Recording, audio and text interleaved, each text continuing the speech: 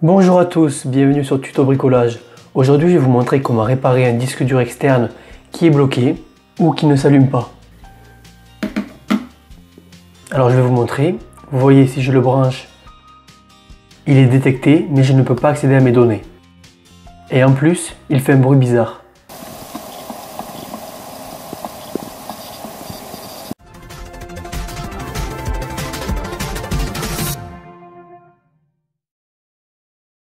D'abord, il faut vérifier si le disque est présent dans la gestion des disques Windows. Pour cela, je vous invite à regarder ma vidéo Problème disque dur non reconnu. Je vous mettrai un lien dans la description.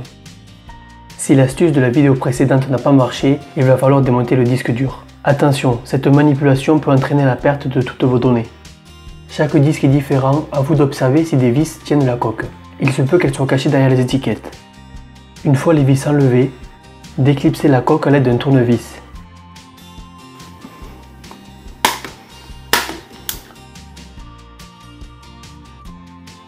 Sortez le disque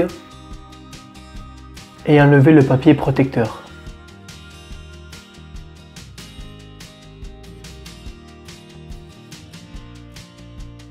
On va maintenant essayer de changer l'adaptateur SATA USB. Parfois, c'est lui qui ne fonctionne pas.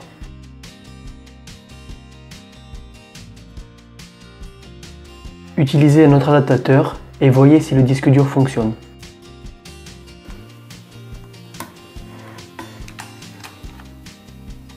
Dans mon cas, ça ne fonctionne pas, il va falloir que je démonte complètement le disque dur. Enlevez l'étiquette qui protège le disque et dévissez toutes les vis.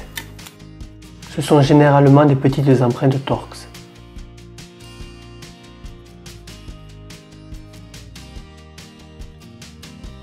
Une fois que vous les avez toutes retirées, soulevez délicatement le capot du disque dur.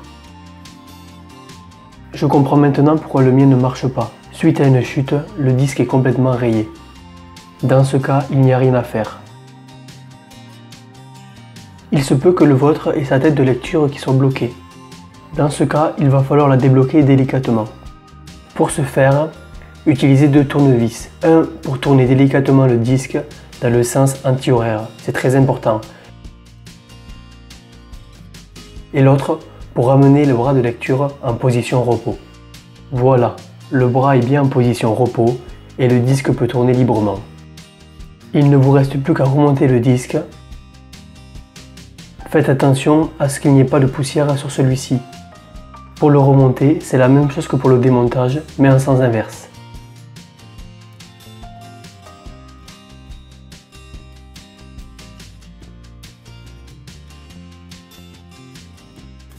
Il ne vous reste plus qu'à rebrancher le disque dur à votre ordinateur. J'espère que cette vidéo aura su vous aider et vous aura permis de réparer votre disque dur. Je vous dis à la prochaine, en attendant bricolez bien. Ciao ciao